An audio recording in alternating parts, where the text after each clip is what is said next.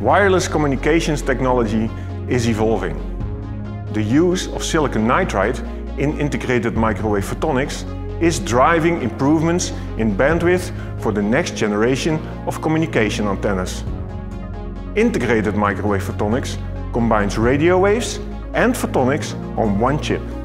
It offers simultaneous improvements in beamforming capability and signal bandwidth by introducing true time delays for elements in an antenna array.